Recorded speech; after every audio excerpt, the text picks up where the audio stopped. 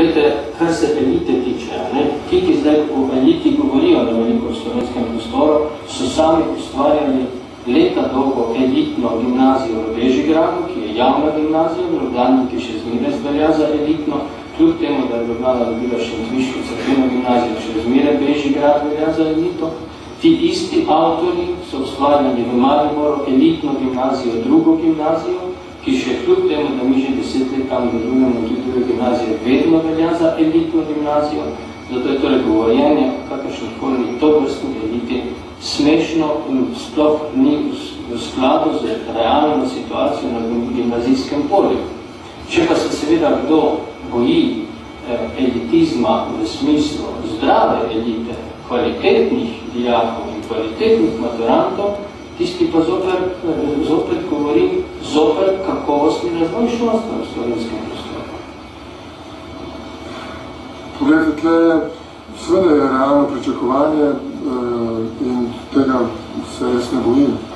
To se mi zdi dobro. Vsaka vzgoja, elite, kakršnekoli je uh, za slovensko državo, uh, slovenski narod in za državljane, je dobra zadeva tisto, kar je glavni problem, je, kdo to financira, kdo to financira in uh, ali je zadeva delana tudi v javno dobro.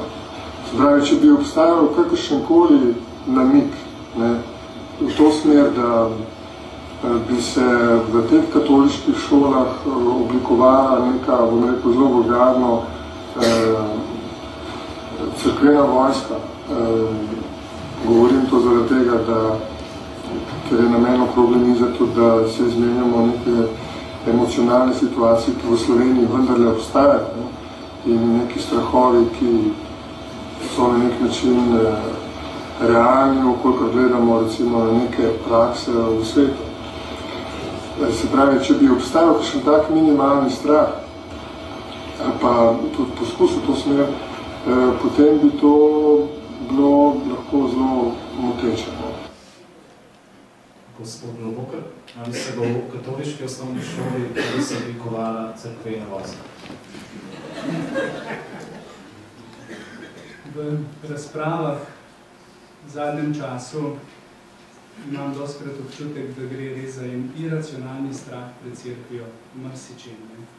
Torej, 14 let imamo katoliško smo katoliško gimnazijo v Šentvidu in eh, v 14 letih še nismo nobene divizije katoliške vojske oblikovali, tako da mislim, da tudi v prihodnosti ni strahu.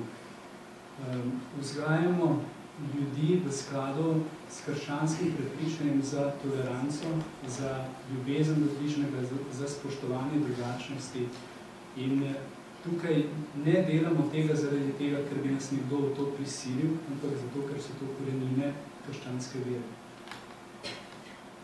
In take vojske, mislim, da se nihče, nih, nikomor se ni potrebno take vojske vojke. Gospod Gerjol, kakšna bodo merila kriteriji za vpis v katoliško osnovno šolo? Vem, se lahko vpiše v katoliško šolo vsak, ki to želi in vsak, ki sprejema učni načrt. Eh, se pravi, koliko poznam, situacijo ni nobenih eh, posebnih kriterijev, niti eh, z vidika sem nekih družinskih izhodišč, tudi ne socialnega statusa, se pravi vsak, preprosto vsak, ki to želi in vsak, ki sprejema učni načrt.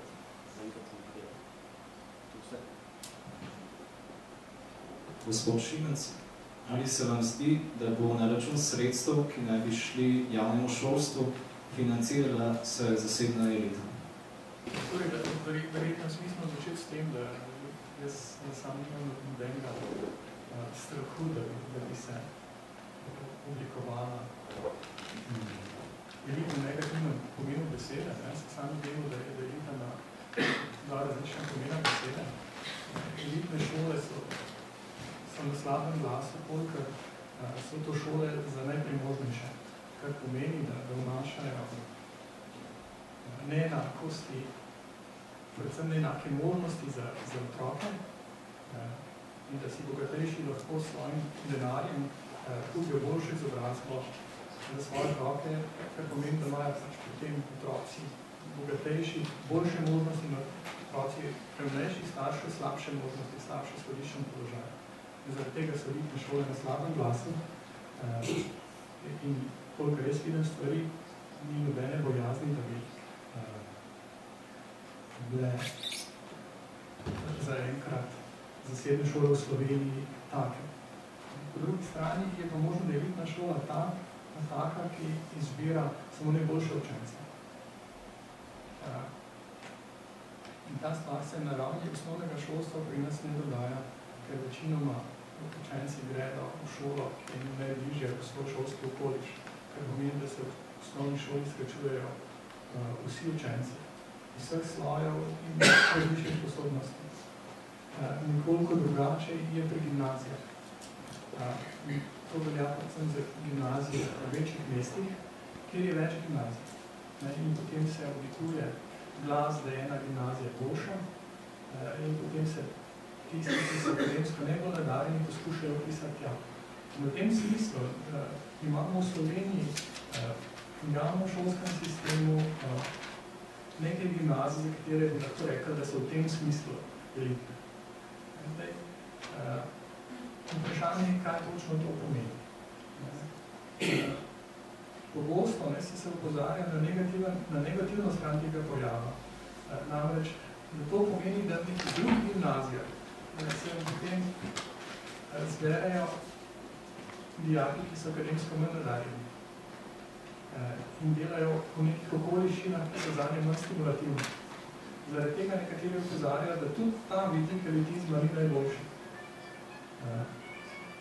Seveda to stvar ni enoznačna, ker je tudi res, da, kaj, recimo, če si pogledamo Francijo, na ravni univerz, da so običajne univerze, potem imajo pa še te OTECO, ki so univerze intelektualna elita, ki so bistveno bolj zahtevne, so strožji pogoji in veliko večja motivacija za izredne intelektualne dosežke. Tako da stvar pri eliti v tem drugem pomenu ni tako enoznačna. Venem je pa res, ne, da, da se pač te domnevne elitne gimnazije oblikuje na ljudskem glasu. Meni se zdi to pomembno, da, da se ne spodbuja oblikovanje elitnih gimnazij uh, na kakršen koli način. Uh, in gospod Štuhec je imena gimnazija Beligrad. Uh, v resnici je tako, ne, če, če hm, bom rekel samo to, ne, da, da letos gimnazija Bežigrad ni imela volitve opisa. Kar pomeni, da, da ta ljudski glas se zelo spreminja in se naj ga ne gre čist zanest. Ne so pa bile druge gimnazije Ljubljani, ki so imeli volitve opisa. Kar pomeni, da se je znanje poskušalo opisati bistveno več dijakov kot na gimnaziji Bežigrad. Ja, ampak, če, če samo zaokrožam to, to svoje razmisle, mislim, da trenutno ne, ni strahu, da bi, da bi uh, zasebne gimnazije bile elitne v tistem prvem pomenu besede, ne, da se na ne lahko pišejo samo najbogatejši otroci najbogatejših staršev. Uh, po drugi strani pa uh, je delikatno reči, protestirati načeloma uh, proti temu, da, da, se, da se na zasebne gimnazije opišejo najboljši dijaki, tukaj pač vpis ni reguliran na ta način.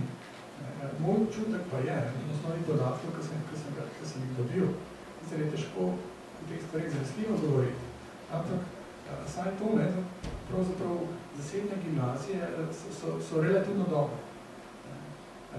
Ni čisto jasno, so relativno dobre zaradi tega, ker se nami opisujejo najboljši dijaki, ali pa zaradi tega, ker to dobro delajo, ampak vsekakor uspeh dijakov na zasebnih gimnazijah